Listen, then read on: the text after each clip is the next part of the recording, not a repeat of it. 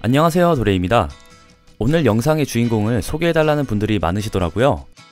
건의 주신 구독자분들께 진심으로 감사하단 말씀 드리면서 영상 시작해볼게요.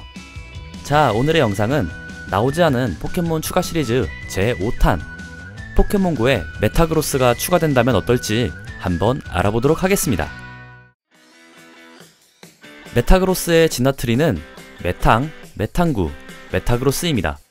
두 마리의 메탕이 합체하여 메탕구가 되고 그 메탕구 두 마리가 합체해서 메타그로스가 된다는 재미있는 설정을 갖고 있습니다.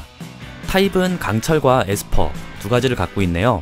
그렇기 때문에 땅, 고스트, 불꽃, 악타입에 1.25배의 데미지를 입게 됩니다. 본가에서는 600족 포켓몬답게 매우 우수한 능력치를 바탕으로 싱글, 더블 배틀에서 픽률이 높은 포켓몬 중 하나였습니다. 하지만 6세대가 들어오고 상성 개편으로 인해 약점이 추가되었으며 킬가르도와 파이어로가 엄청난 활약을 하면서 자연스럽게 입지는 줄게 되었습니다. 그래도 좋은 stat을 바탕으로 메가 진화까지 가능하며 특성인 단단한 발톱을 통해 코멧 펀치, 불릿 펀치의 화력을 높일 수 있어서 매니아들 사이에선 현재도 많이 사용되고 있는 포켓몬입니다. 자 그럼 메타그로스의 좋은 stat을 포켓몬고 방식으로 바꿔볼까요? 체력이 조금 아쉽지만 공격과 방어 stat은 슈퍼 엘리트입니다.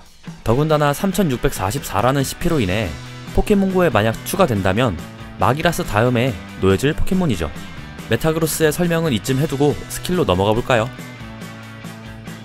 본가에서 메타그로스의 습득 가능 기술은 매우 다양했습니다. 그렇기 때문에 포켓몬고에서도 자속 외에 다양한 스킬도 다수 있지 않을까 생각해봅니다. 하지만 어디까지나 본가와 포켓몬고는 다르기 때문에 추가되기 직전까진 단언할 수 없는 부분입니다. 현재 포켓몬고에서는 강철 타입이 주는 이점이 크게 없기 때문에 자속과 함께 격투 타입을 카운터 칠 수 있는 에스퍼 타입의 기술이 좋아 보이네요.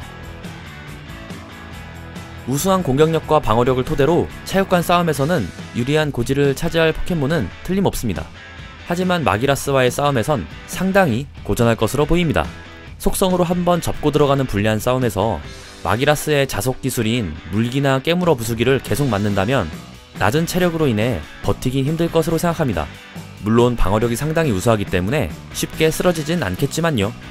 공격 측 등급으로 따진다면 훌륭한 공격력과 방어력을 바탕으로 수비수를 강하게 몰아칠 수 있는 포켓몬이기에 최상위권 등급에 충분히 올라갈 수 있다고 생각합니다. 반대로 수비 측 등급을 알아볼까요? 망나뇽처럼 슈퍼 카운터는 존재하지 않지만 악, 불꽃, 땅, 고스트 타입엔 꽤나 강력한 공격수들이 존재합니다. 상당히 고루 분포된 stat과 높은 CP를 갖고 있는 코뿌리가 있으며 부스터, 윈디, 리자몽도 훌륭한 카운터로 사용할 수 있습니다. 마기라스는 확실한 카운터 포켓몬이죠. 그렇기 때문에 수비수로는 입지가 높지 않을 것으로 생각합니다. 하지만 등록만 해둔다면 높은 CP 덕분에 체육관 고층에 무조건 갈 수 있는 포켓몬입니다. 수비 측 등급으로 따진다면 마기라스, 망나뇽과 비슷한 2.5등급 정도로 예상해봅니다. 구독과 좋아요는 영상을 기획하고 제작하는 제게 매우 큰 힘이 됩니다. 그러니 꼭 눌러주시는 것 잊지 말아주세요.